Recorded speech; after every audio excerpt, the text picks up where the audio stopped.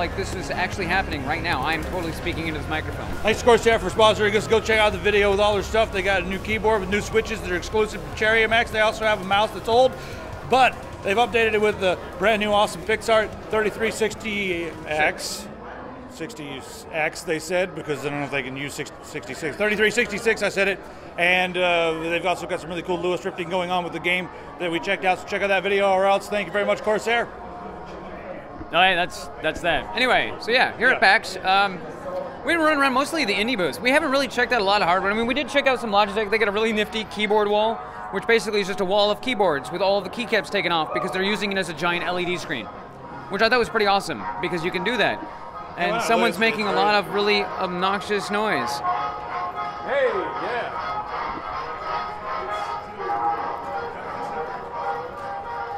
You're supposed to do this kind of thing, right? I'm just disturbed by what I saw. I call that the mashed sweet potato. I'm heavily disturbed right now. Let's talk about some indie Uh, games. something just caught fire over there. Someone caught fire? Whoa.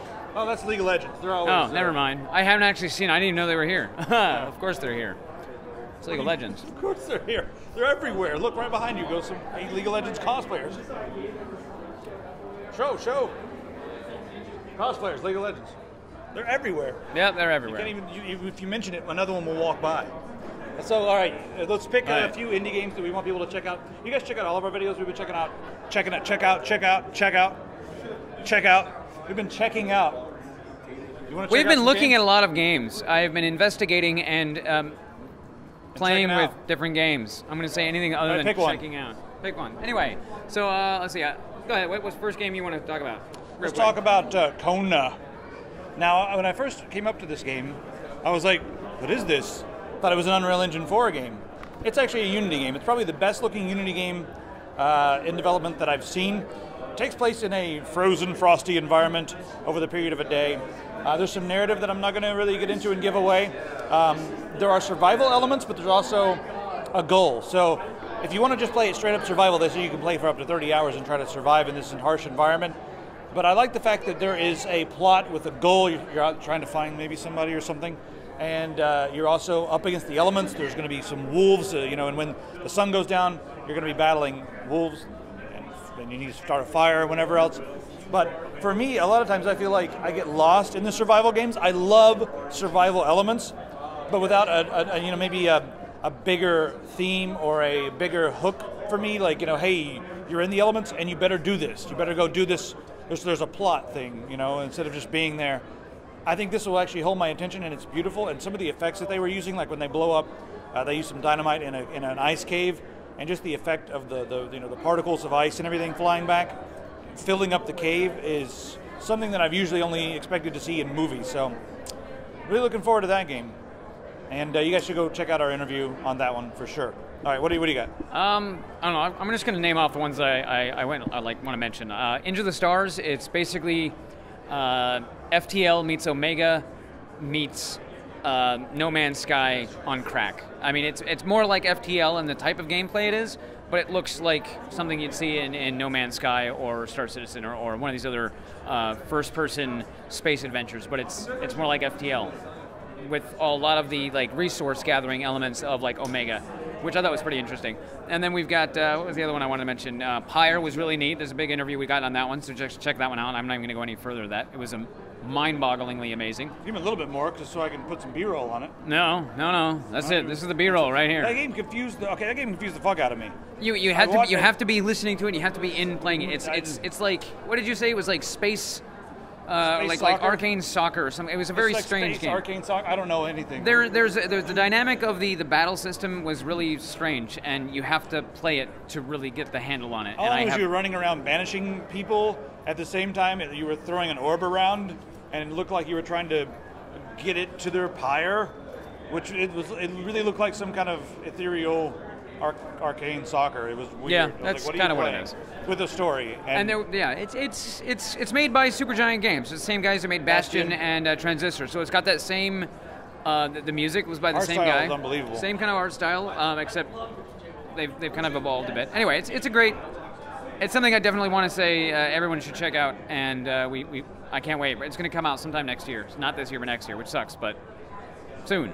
all right. all so right. Torn Banner Studios.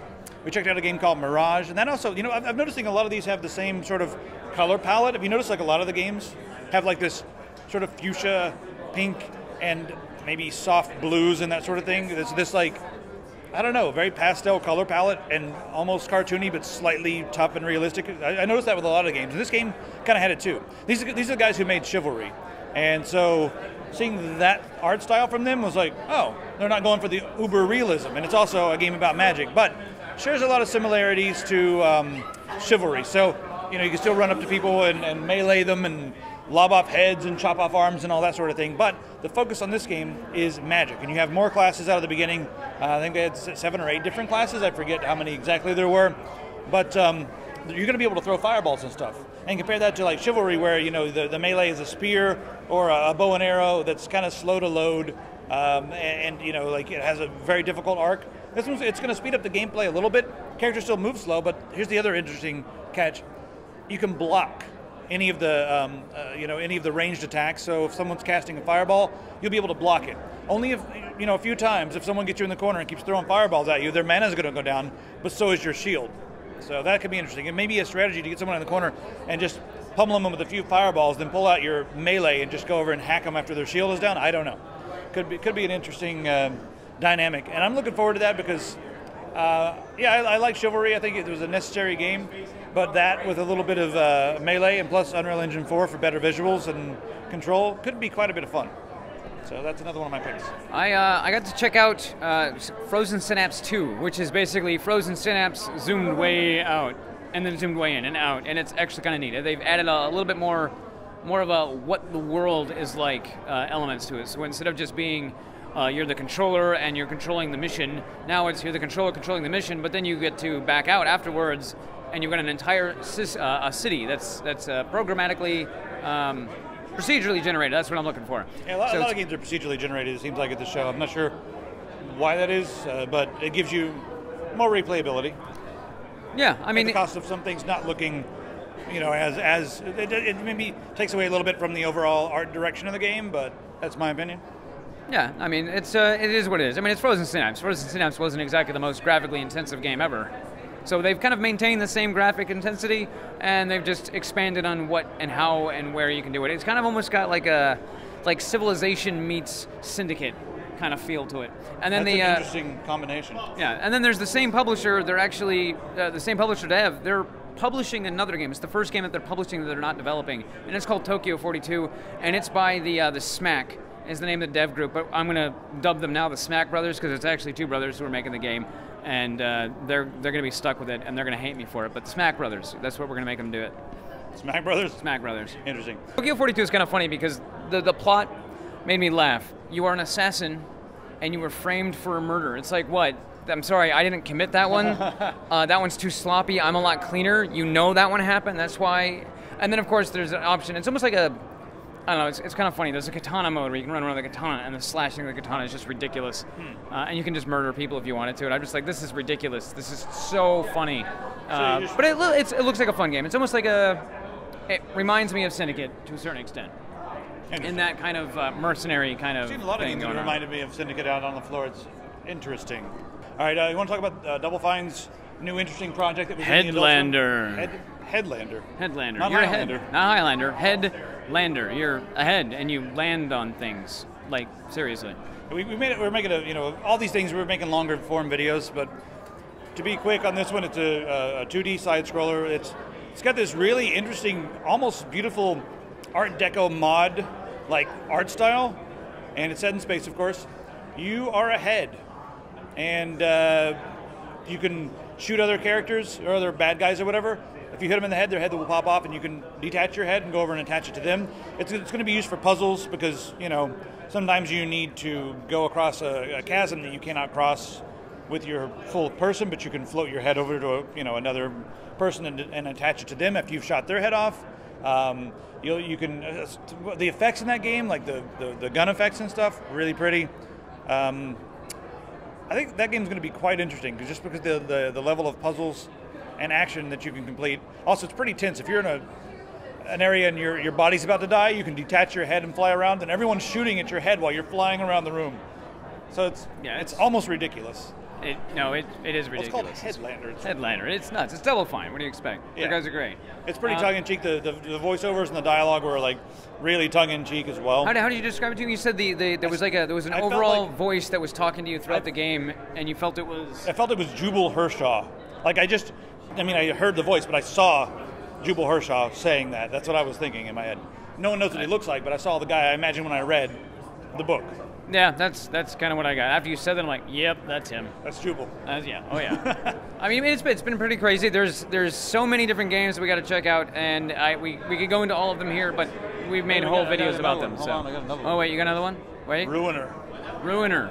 That one's actually looking pretty cool. That's coming That out one from uh, isn't that Devolver? That's from Devolver Digital. I, I forget the actual developer behind the game. Devolver is going to be publishing this, and they said they took some cues from Hotline Miami, but not really. It was you know just fast paced, but it's a cyberpunk world that everything is hand placed, not procedural. And the thing that I'm really looking forward to in this is it kind of reminded me of the style of the old Crusader, No Remorse and No Regret games, except the controls are much improved. I didn't like the control in the Crusader and and, and Well, that's much. because it was you know 1995, 96. Those things came out. Well, that, those games always weirded me out because it was similar to like um, the Resident Evil games where the up button is the forward button for your character depending on which direction he's facing. So that always weirded my brain out. Uh, this one wasn't like that. So um, it's also a cyberpunk setting, which is cool. It's always really cool. Yeah. yeah. So it has a nice art style, and uh, you're there to ruin lives. I mean, there's Oh, a plot, yeah. of course, but Oh yeah. The indie booth this year is the biggest it has ever been. That's a good thing. A very It good is. thing. Yeah. I, I was a little let down uh, the last couple times I've been to PAX East because I felt like the indie with the PAX Prime has just always been like the cool spot to be. I guess I don't know the much bigger, much better, but yeah, it's it's it's back this year and it's it's nice. Go check out all of our all, all of our footage. We've got what's that one? This.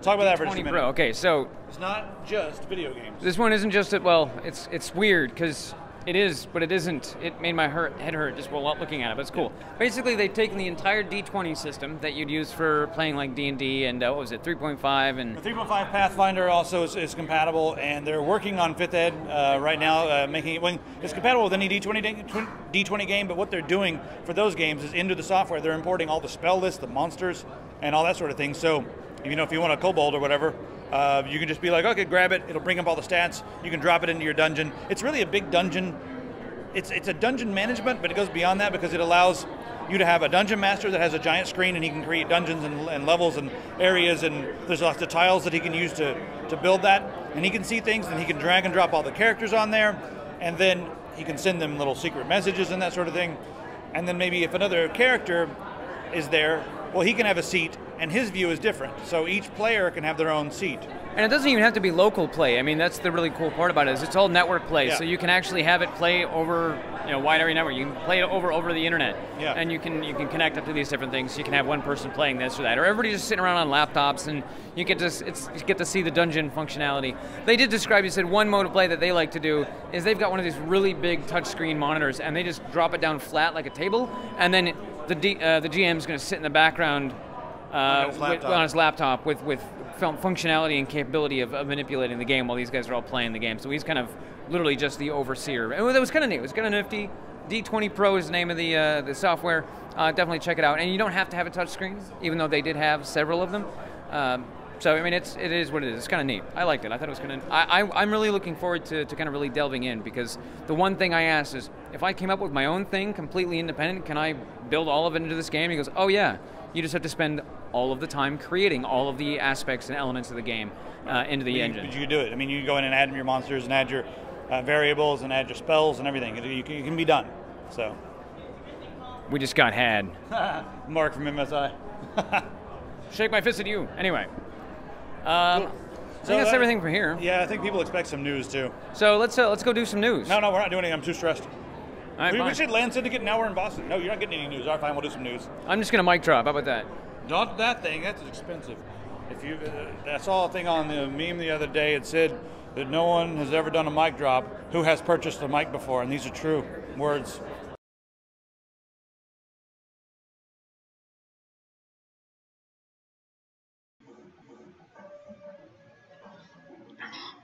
Oh, yeah.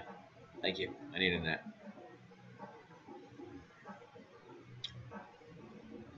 What? Boston's been good to me. All right, this is going to be the sleaze episode of the Tek, y'all. Does y'all go with this environment? Give me this thing. Hmm. I don't even know what this is made out of. I think it's made out of pears. Ah, grape juice. All right, guys. Um, this episode of the Tek is um, Long overdue. well, yeah, it's been. We couldn't go a couple of weeks. This is all. This is the best we could do right now. Yeah. Tried to set this up in our room, didn't work. Tried to set it up at PAX. And uh, problem with internet connectivity. You have to have internet connectivity to do the Tek. So Yeah. we're in this, whatever the hell this is. This is um. They wouldn't let us into a conference room, and they were all whiny about it. So we said, "Screw it, we're just going to take over your lobby area," and we proceeded to rearrange everything as we normally do. You guys want some news to talk about in the comments? So let's get some news to talk about in the comments. Got it. First off, uh, let's just start off with this because it's very interesting, and it's something they're not really talking about here at PAX. Literally, this just uh, this information just went live like I don't know, maybe half an hour ago, or at least I saw it about half an hour ago. Yeah, so this is on uh, PC Perspective. You were looking at uh, TweakTown. Basically, the specs have been leaked, probably on purpose, for the AMD Radeon Pro Duo. It's essentially two Fury X's slapped together. It's actually kind of neat. The, the card, um, you know, the, the, the Fury X is running like 275 watts. This thing's uh, dual GPU. Mm. It's only running 350, which sounds like a lot, but it's two GPUs. It's pretty awesome. And it's got 8 gigs of RAM. Uh, it's For each CPU, it's 4 gigs per CPU. The CPUs are clocked at a gigahertz apiece. It's got four display ports. I mean, it, this thing is ridiculous. It's got almost, it's got it's 1.5 times the performance of the Titan X. So they say, and that's also your games are going to need to support, uh, well, possibly support Crossfire, but I don't know with a lot of the DirectX 12 stuff out there. Um, they, and also having it on one card might help to, some of the issues with Did you, uh, uh, did you Crossfire. need Crossfire for 200 the 295 X2? I believe that the games with the, uh, you know, I didn't really play with one of those, but I know that um, a lot of the games that required Crossfire support were kind of weird with it. They just didn't like the two GPUs. We should cut this because I don't know. I'll cut that. I don't know. So anyway, um, it's just going to be really expensive. That's the main. That's the main takeaway for me. 1500 bucks. Is that worth 1.5 times the performance of a They're- Titan X? They're not saying this is for your elite gamers or your high-end gamers. This is for your insane people with fifteen hundred dollars to blow on a dual graphics card or dual GPU graphics. AMD stock's been going way up. Uh, they're talking about their, you know, their secret new stuff that they, they they won't say anything. I went by their booth here at PAX and was like, "Hey, we're Tek Syndicate." They have no idea. They're like, "Oh, whatever." Like, you know, Tek Syndicate. We've got millions of hits on videos where we talk about AMD products. They're like, "No." They're like, "Can I get a card?" They're like, "There's a bird over there." Fire your marketing team, AMD. You know, I mean, you say that. No, I went by and I proceeded to just schmooze them a little. I'm like, "Hey, you got anything new since CES?" And they're like, "No." And then why the hell are you here? Oh, they've got the uh, the Yeah, Wraith cooler. Actually, the Wraith cooler is kind of Yeah, it's kind of cool. It's the new stock cooler that they got. It's really really quiet compared to the old jet engines that they used to put in the uh, in the stock. But they it's now coming with uh, all the GPUs, not the GPUs, all the CPUs. And I asked them if you can get it separately. They're like, no. Yeah. like, okay. So I don't know. I, I they I mean they're obviously showing off their, their stuff here to a lot of the audience that I mean, they're gaming on it. They don't really know all the technology, so they're going to come and be like, "Oh, what's that? Oh, we it's do a. There, there Fury are some, Nano. Ooh, there, there are nice." some new motherboards from MSI and ASRock, which they were showing off. I yeah." mean, so I mean, they were showing off some of this stuff, but it's really, it's cool. I don't know. I'm not, I'm not really dissing them. I just, uh, I, I wish somebody had a business card I could have collected. That'd have been nice. All right, this is a let's let's get over to some of the more normal stuff. Microsoft and Google are agreeing to end all regulatory complaints, and they're going to try to compete normally instead of doing it in the courtroom, which I think is very interesting. Finally, I, I want to know what's behind this. You know what I mean? Because yeah, they're, they're they're doing this, but there must be some incentive for Microsoft and Google to stop suing each other. Mostly, you know, a lot of this is Microsoft pursuing Google and saying like, "Hey, we got problems with your Android OS. We got problems with this. We've got all these old patents that we can twist to mean things that you have." I think the, uh, you know, Washington is uh, is now legal to smoke weed. I think uh, somebody from Google high up and somebody from uh, Microsoft high up got in a room, uh, smoked some ganj, and then proceeded to have a nice long chit chat and be like, "Man, why are we fighting all the time?" And they, they hugged it decided out. they hugged it out and they decided, Mm. you know what, man, we'll just compete by making better products instead of whining like little babies. Yeah, that's a great idea. Pass pass the bond. You know, that's that's what I think they did. Um, what I want to know is is Microsoft still going to be going after Android partners? You know, like um, they were always chasing them around, being like, "Hey, you guys are doing some bad stuff with," and, and so just give us a couple bucks for every Android phone you sell, and we'll call it even. So they they stopped doing that with some a while back, and then in China, China kind of put their foot down. But um, I want to know how, how much Microsoft is actually going to let up. Are they going to let up completely? That'd be interesting. Uh, they decided to drop the two complaints they had against each other. Yeah. Nah. This is funny. Yeah. So you Right. block ad blockers, your traffic goes down. If you uh, go to a website and you know ad block is um, it's got one of those things where it's like, oh, we see you're running ad block, please disable it to continue. Do you disable ad block to continue? No, you just close the tab. You know, you know why that is, in my opinion. The the websites that do that have pretty nasty ads. Like after, like I've done that like once. I've gone to a website and I was, it was like, hey, um, you've got ad block on, turn it off. And I was like, oh, I really want to read this article. Okay, I'll turn it off. And as soon as I turned it off, I just got slapped in the face with so many ads. I, I next thing you know, I'm naked taking a taking a cold shower, got- trying to figure out what the hell just happened to me. No, you know, I yeah. I- violated on the screen. I think it is kind of ridiculous because what you'll end up happening is having like eight or nine like picture ads, Mhm. and then you'll have a carousel video ad. That even if you tell it to shut up and mute it and stop it, after ten minutes it'll recycle and start. Mhm. We've had them on here before where we've had it was like, wait, where's that noise coming from? We actually have to go in and like disable the code that loads that ad. It's like screw you guys. So I actually have like all fancy numbers and stuff here that show like look at those those that's going down. See that? Mmm. Forbes is the worst. It really is. It is the worst amongst these because you, you go to the Forbes, you're like, oh, it's Forbes. Really, does Forbes, as a what they are and how much money they've made over the years, do they really need to? I think they might really. I mean, Uh, I I, think guess they, print they- is going dead or something. Yeah, so- yeah. Their their their bounce rate is phenomenal. Twenty seven percent. Ours is like forty five to fifty percent, but that's phenomenal bounce rate. Wow. All right. Anyway, let's move right along then. Next up on the list, Apple should pay more tax, says Wozniak. Apple has been doing everything they can to avoid tax in the EU and also the USA, using tax havens and all kinds of slippery tactics. I believe Tek Syndicate probably pays more tax than Apple and Facebook combined, and that's ridiculous. That's absurd. Now, they do pay some tax, but by and large, they're very good at using loopholes. You know, the thing is here is, um, you know, Wozniak saying this. I think, what the hell are we listening to? I think, Yeah. I think Wozniak, with, with some of his power, should lo- should hire a lobbyist to go to Washington and help them rewrite some laws, because that's the main problem here is that, that all the people in power have been paid to create these loopholes and these tax havens and the freaking Panama Papers and all these sort of things that just enable major corporations and wealthy people to, you know, avoid giving their money to the government to help pay for roads and the services that they use to, you know, like to run their businesses. Uh, and then like the young, you know, like the the smaller companies like us get stuck paying their bills for all the services And, you know, it's using. not only Apple that's in this position. I mean, you got Google, Microsoft. I mean, you pretty Yeah. much name any big major company, and they they're they're guilty of The this. thing about and this just happens to be that Wozniak is like, man, I pay taxes. I, I mean, I'm paying my taxes. You guys should pay your Well, taxes. see, the thing about the thing about Apple is that they always pretend to be such a wholesome, good company. You know, it's like the it's like they're the guy next door who has like a family locked up in their basement, and then they come out and they have ribs with people that are from next door. You know, they're that guy. You know, like they're just and the guy, nice the guy. thing is, the guy next door is Google, and Yeah. they've got the, like the other neighbor's family locked up in their basement. We just don't know it yet because they we haven't we haven't uncovered the uh, the you know the secret wall in the basement. we can't repel evil of this magnitude. No, it's not going to happen. Um, see, the thing, and the other thing is, is that well, Google. I still have a problem with any of these companies not paying their fair share, but Google is just like, yeah, there's laws. We just, are you kidding me? We're totally going to abuse the system. I think that's I think that's the uh, I think that's the difference when I look at Google versus Apple in this aspect. Yeah. Google's just like, yep, we're totally doing that.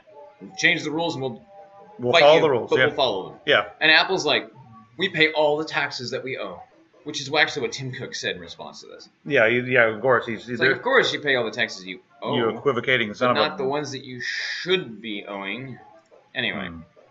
I just a quick little thing on uh, a lot of people have been talking about some of the, the new stuff that's been going on with Opera. First off, Opera they, they've got their own ad server that they're they're trying to uh, uh, to work with. Or that's the new company that Opera, but this is the, the creator of Opera. But now the regular Opera, uh, they're integrating a VPN into their service. This music's so funky, man. Now here's the deal: it's going to be a free VPN, but you need to look at their terms of service. Remember, when something's free and it's not open source, well, Opera's kind of uh, open source. It's using Chrome now, so if something's free and it's provided to you and someone's paying a bill somewhere, you're probably the product. And someone even says that down here, I think, in the comments. But just go and look at all the uh, fine print, and uh, I would not trust Opera's VPN as far as I can sling a piano. I mean, it was a great idea. But that's about the extent of it. I mean, they purchased uh, SurfEasy VPN just over a year ago, Mhm. and, uh, and they're located in Canada. It's one of the Five Eyes countries, just as a point out. You know, I don't know. The whole thing I think is. Um, They keep broadband usage logs. That's you know. I mean, so does Chrome, but they're not trying to say that we're going to put a VPN. I mean, the only Yeah, the Chrome, only reason Chrome's that not this, a VPN. Though. I yeah. mean, this the is only the whole idea. the only the only thing that I think the VPN would be useful for is for people who are trying to bypass throttling. But even then, um, I mean, how long before those things get blocked and suddenly your VPN and that software is useless? Because that's that's there, there are services that that proactively go and say, oh, these are known VPN endpoints, and they just block them because they're like, no, we don't want to anonymize our traffic, so to speak. Which, in all reality, I don't necessarily uh, like. Um, but sometimes it's really necessary. Like if you use Tor, you use a known Tor exit node, people abuse the crap out of it, so you block it all. Unfortunately, guys are abusing it, you're the reason that you know things get blocked like that. Just so you know, All right, let's go through a few um, uh, solar articles. Um, several. Yeah, I mean this show is so low already that it that didn't work. It's uh, yeah, I don't even know where you were going with that. Soul, solar, or, or I don't know. I haven't had enough It's wine. so low, it's on the floor. Anyway, we've got a I, million it's the installations. worst thing I've ever done in my life. We've got a million installations across the country, and that's uh, that's great. I mean, it So took it- them it- 40 years to get here, but, But they say the next million is going to come in the next um, the next two years. yeah, it's gonna take two years. So it took that long to get a million, and the next two years we're going to get two million. So there's that. Uh, moving on to some more stuff here. San Francisco has a new law that's saying that all the new buildings must have solar panels on the roof. that's great because they have power problems anyway. Uh, Or they did at several points, and they probably still do. Yep. Uh, Uh, this one I think is really interesting. They said the amount of land required to run American America, like all of America, on solar power is 0.6 percent of the country. Which I don't wonder if that includes Alaska. Eleven million two hundred thousand acres. Um, I imagine it does. I mean, but the problem is, is that people, you know, when, when you say that, it's kind of a misleading thing. You can't just put one giant solar array in the middle of Arizona or could. Nevada, but you, it would be It difficult to. It wouldn't. You, you transportation of power out of that would just it would get entropy. Look it up. You're gonna have to have lots and lots of solar farms and lots and lots of areas, and then we're also it's gonna go beyond the 11 million 200 thousand acres because then you're gonna have to have service roads and you're gonna have to have you know just, just stuff around the installations. It won't just be there. You need that much surface area just for solar panels. Having said that, if we start putting solar panels on the roofs of all, you know all the different buildings and that sort of thing, it'd probably be pretty easy to get to. A, I'm, I'm going to say the uh, the the mass acres. everybody going to hate us words. Yeah, we- you know, solar roadways. Just saying. Wait, there's a guy. like, There's, wait, no, no. There's a there's a very condescending guy who disproves this by writing on the math on the chalkboard with lots of math. Uh, you know what? It was really interesting. He's not wrong. He's not wrong. Uh, I just I think that all of the solar stuff in a forward-thinking manner, being that kind of level, that level of negative, and not providing a alternate solution other than just put it on your house. It's like let's let's really kind of spell and figure out what and where and how. I mean, because in all reality, it's like oh, you know, on the roads, people cars are going to drive on parking lots, cars are going to park there. You're put it on your house, clouds are going to roll in. There's nighttime. Oh gosh, I mean, you know, nuclear plants run all night long. I'm just saying. You know, yeah, plants, the same dude, thing. uh, Natural gas. The dude, you know, I would like for him to make another video where he presents a very interesting alternative because if he's smart enough to go through and criticize it on that level, he should be smart enough to come up with some sort of an alternative. Um, yeah, that would proactively promote this level of solar uh, renewable energy sources. I mean, considering if we could actually get the space and it wasn't displacing a whole group of people again, and it wasn't uh, destroying large quantities of you know eco habitat related stuff. Um, I mean, that's unfortunate. That's the side effect, you know. It's like, Yeah. no matter where we put this. Man, this is going to be really rough for Republicans because you know they they enjoy destroying uh, like like habitats, like the screw the freaking uh, you know gray owl and man, if we can go I, I and wouldn't. I wouldn't classify that Republicans. I just think people who are all Oh about. no, I'm going there. It's the it's the damned Republicans. I'm not. I'm an independent, so I, I the damned Democrats are just sitting by going, "Oh, stop it, stop it, no, stop doing this," and the Republicans are like, "Yeah." We get a we get a drive a truck into the run over the rabbits, and the Democrats are going, "No, stop," and I'm having a sandwich. Anyway, um, I forgot where I was going with this, but it was going to be awesome. Oh yeah, so it's it's going to be a it's going to be funny for them because they hate renewable energy because it's just like, man, let's drink some more cold juice and, and whatnot. So, but they love destroying ecosystems, especially if they can kill a few endangered rabbits or something. And these will, these might do that. So what, what are they going to do? You can't have it both ways. You can't have some nice, uh, you know, renewable energy, and it's just what are they going to do? Well, someone's got to make the panels. Someone's got to have the, uh, the you know the fuel powered vehicles to go out there and smash everything. Mm. Ultimately, the, the thing is, is that once we figure out exactly when, well, once we figure out where we can put all of this, and it's useful. Because again, the other thing about putting it on a house is that you have to put it in the right spot. If your house is facing the wrong direction, it's almost useless. Uh, if you've got like a like a, just a vertical one one sided house where the roof is only on one side and it's the north side, you're kind of screwed unless you're way up north. And even then, it's just anyway. It, it's I- there's a lot that goes into it, and I think that uh, on the on the solar side of things, I think we're on the right track. I really hope we offend someone with this episode. I think we're going to now. Listen, if you're not offended, you can kiss my black ass. Move right along then. So, Hillary, um, super PAC is spending a million dollars to correct commenters on Reddit and Facebook. Well, at least someone's got a job to go on Reddit and Facebook.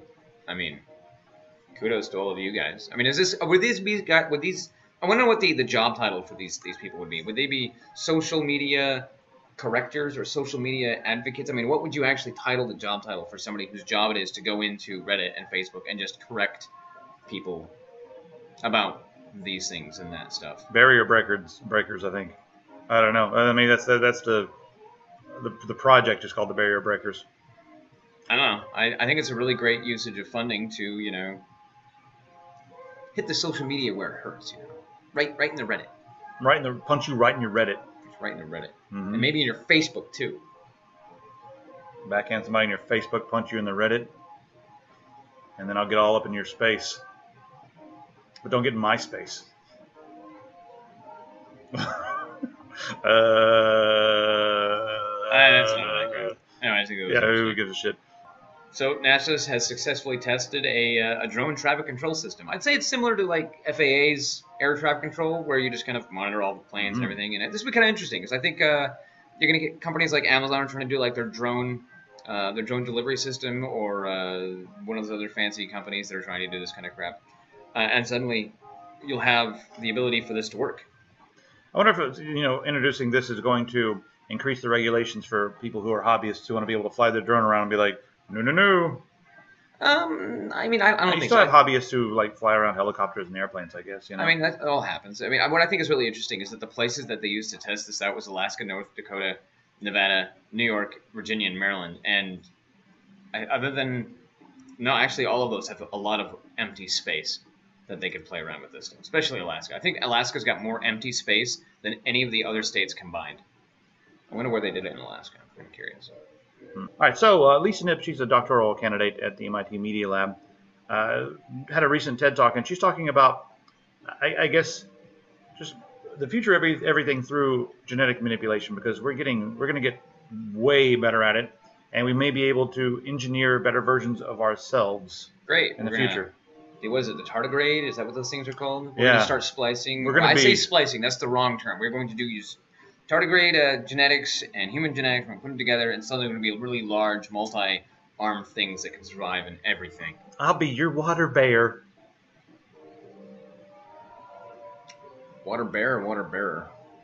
Water bear. like an Aquarius.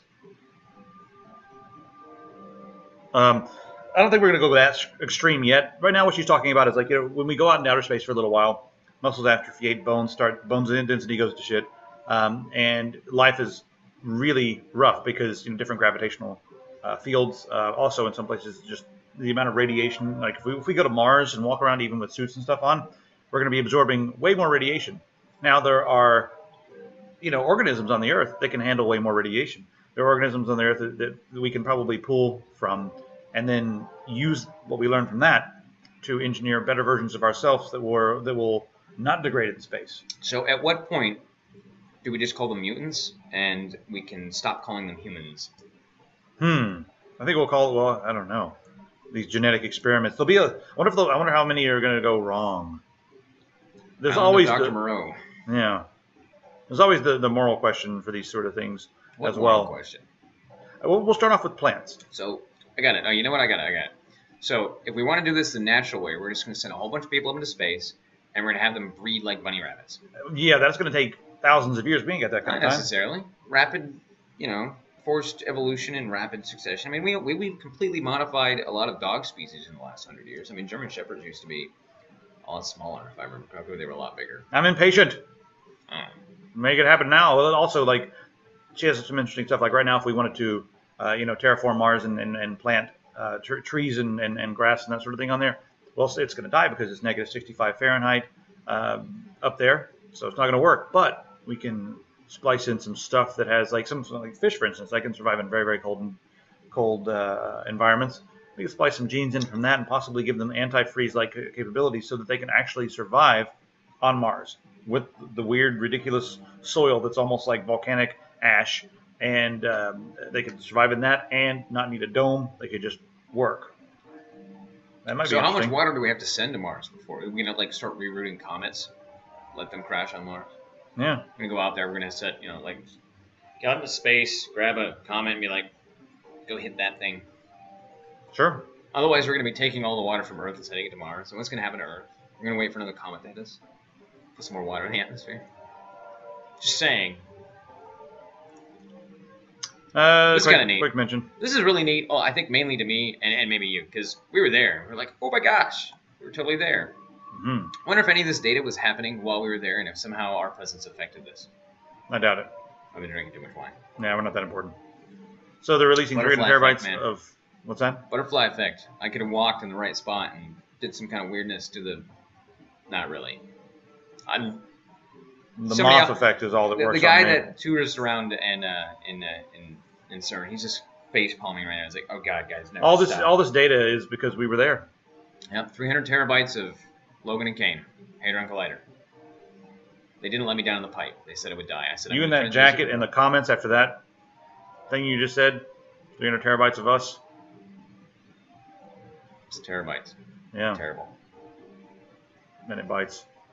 Um. So anyway, you can uh, go and play with this data if you That's fancy cool. yourself. It, it's just an interesting way to like crowdsource some of the research here.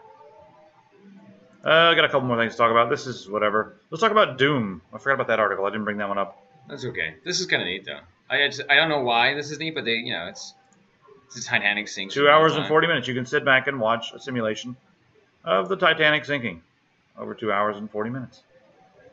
And the internet's kind of crappy This would but probably be a better to watch this than uh, you know to watch the actual movie. yeah, this is more riveting than the movie and has better performances as well. Look at that thing. It's just going down. Don't let go of the ropes, Jack. Don't let go of the ropes. Not too long ago, uh, it was it DeepMind? Google's DeepMind beat the Go champion of, of the world.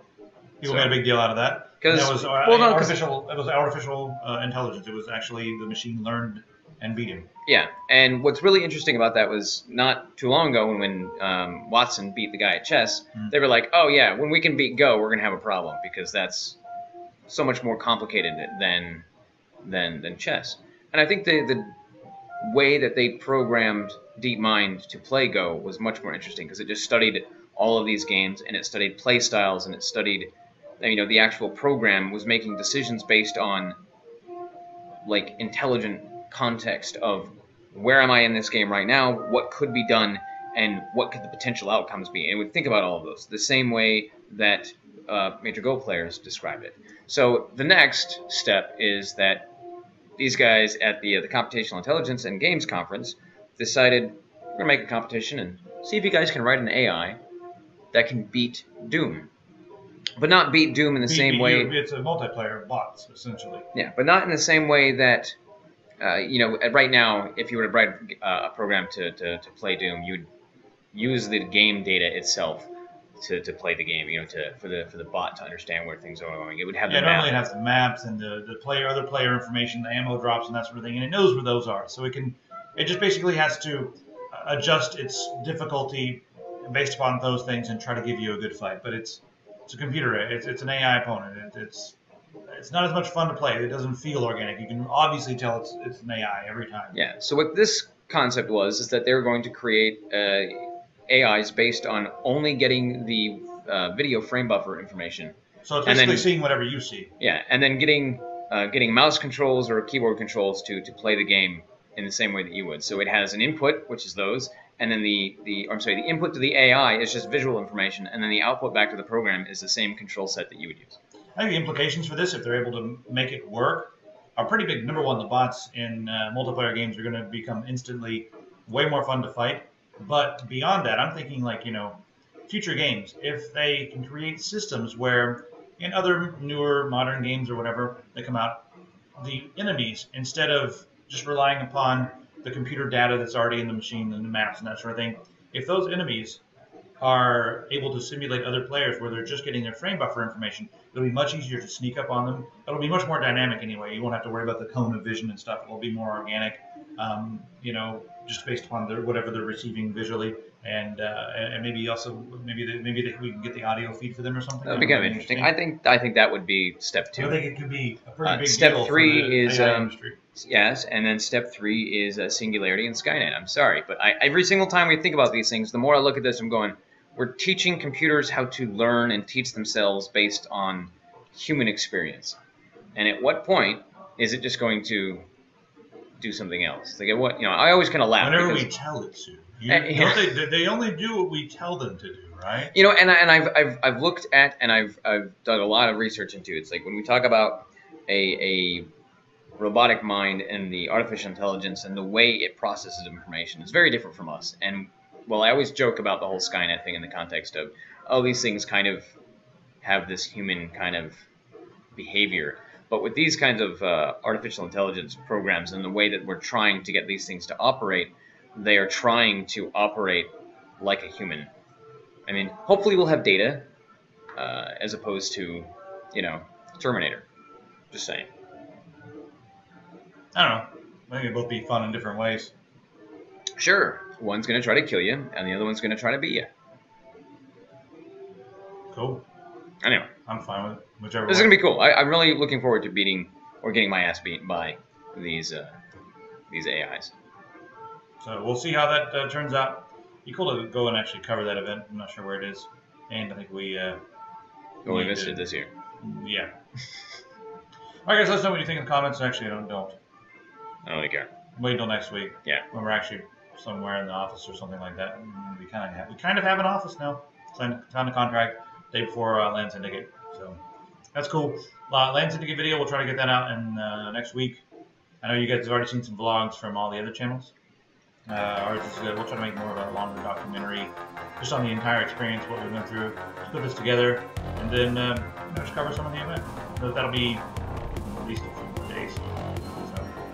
Special thanks to Corsair. Check out their booth coverage for the new Cherry MX exclusive extremely fast switch. They've upgraded one of their old mice with a very nice infrared sensor, and we've got some pretty interesting technology going on with the Lua scripting on some of their keyboards. So check out the booth coverage, and also if you're at PAX, stop by and see us at their booth Sunday, 2 o'clock.